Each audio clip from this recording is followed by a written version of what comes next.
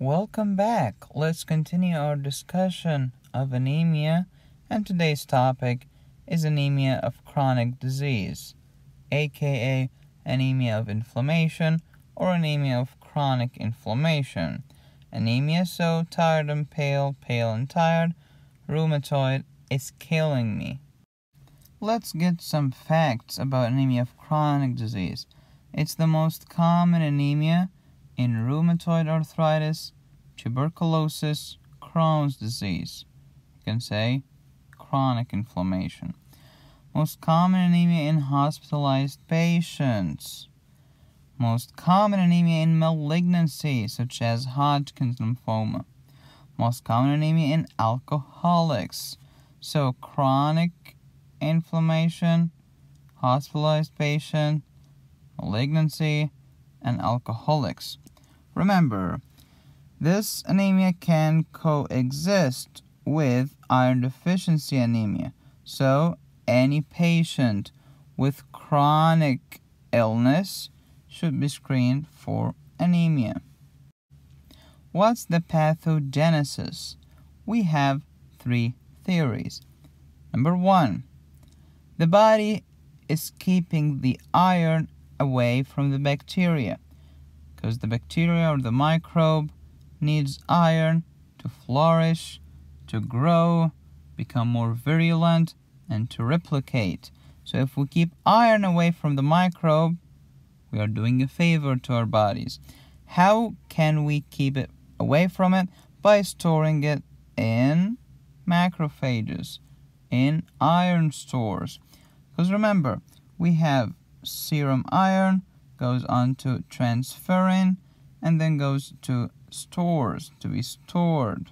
Okay, is there any piece of evidence supporting this theory? Yes. Patients with anemia of chronic disease or chronic illnesses in general, when we give them blood, okay, that contains iron, of course, they tend to get worse. The data suggests that giving blood to patients with chronic illnesses worsens the outcome. Why? They are not sure yet. Maybe because the blood contains iron, iron will make the bacteria flourish. And of course, when we have iron that we cannot use, okay, we cannot form heme and we cannot form hemoglobin. That's easy.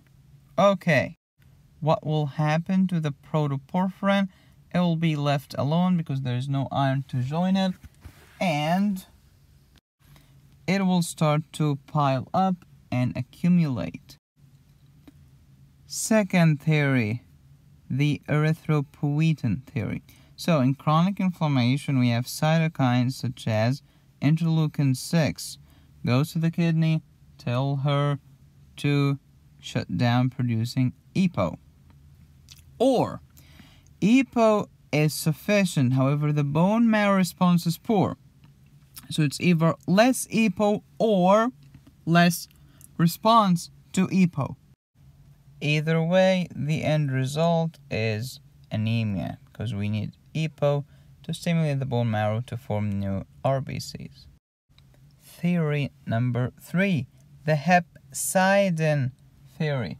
As we've said before when we were discussing iron absorption, um, iron here is the in the enterocyte goes through that ferroportin, get converted to Fe3 plus the ferric bound to transferrin in the blood vessel, then either goes to the bone marrow to form new RBCs or go to the liver get stored and stimulates something called hepcidin, which is a regulator or inhibitor of iron absorption. Hepcidin works by two mechanisms. Block that door so that not more iron comes, okay? Or block the ma macrophage from releasing iron. So, there is a theory that the cytokines such as interleukin 6 leads this hepcidin to increase and upregulate and the liver to produce more hepcidin, So we block macrophages from releasing iron. Iron get trapped in the stores. Trapped in the stores. So, therefore, we have anemia of chronic disease. Iron trapped in the stores mean iron cannot be used to form new RBCs. Remember as well, ferritin, when we have more ferritin, okay, the liver will sense that and produce less transferrin, less plasma protein that binds iron. This one. That's why we have told you that ferritin and transferrin are always in inverse relation to each other. Ferritin up, transferrin down. Ferritin down, transferrin up. So that's anemia of chronic disease in a nutshell.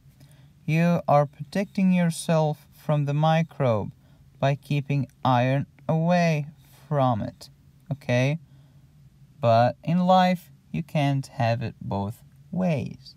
The drawback is that the iron that's kept away in stores cannot be used to form new RBCs. Therefore, you get anemia.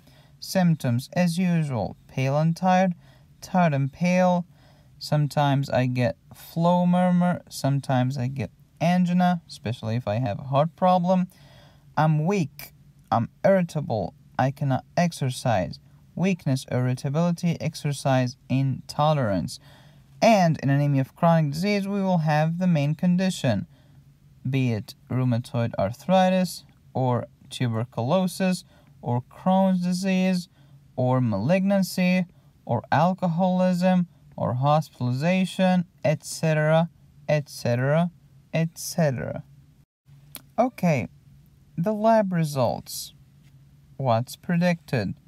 Hemoglobin and hematocrit both are decreased. It's anemia.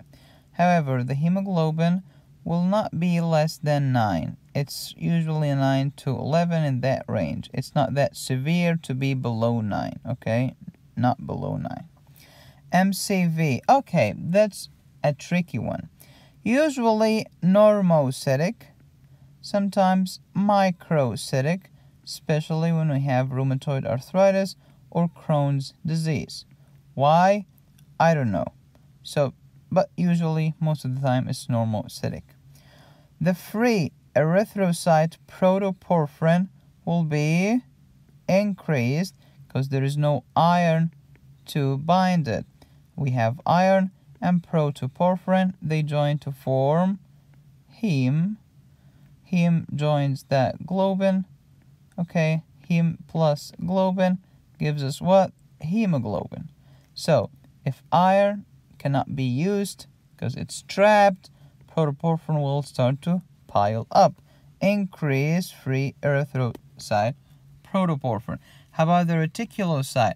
If the bone marrow cannot produce a mature RBCs, usually it cannot produce an immature RBCs. Why? The iron is trapped. The problem is in the iron. So reticulocytes will be low. White blood cells and platelets are usually kind of normal. Serum iron will be decreased. You know why? Because iron is trapped in the ferritin form, trapped in the macrophages, trapped in the stores. Okay? Also, ferritin will be high due to a second reason. Because ferritin is an acute phase reactant. It's increased in cases of inflammation. So it's called anemia of chronic inflammation okay, of course ferritin will be up. That's a no-brainer. TIBC is always opposite to ferritin, so ferritin up, TIBC down. Percent saturation equals the serum iron over the TIBC. So, serum iron is low, TIBC is low. That's why percent saturation can be normal.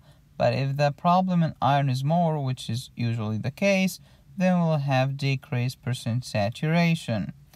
What about the soluble transferrin receptor concentration? It will be normal. Okay? Huge difference between anemia of chronic disease and iron deficiency anemia, where the STFR was high. Okay, how about RDW?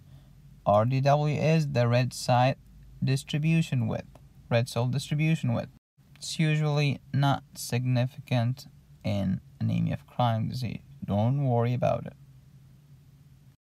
Treatment. How to treat anemia of chronic disease. Do you remember the three theories uh, in pathogenesis? Yes.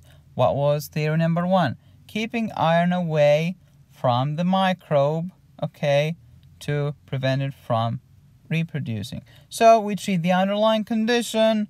If I have Crohn's disease, treated. TB, treated. Rheumatoid arthritis, treated first. We can give parenteral iron, means IV or IM, sorry, usually IV. Um, yes, we can. Sometimes it helps. Um, EPO, the artificial form epoetin alpha, we can give them because sometimes they are deficient in EPO or they cannot use it inside the body, so we can give it artificially. Hepcidin was the third theory, so they're trying to develop hepcidin antagonists this day to help with this condition. That's it for anemia of chronic disease. Thank you very much for watching. Next, we'll discuss thalassemia. Thank you very much.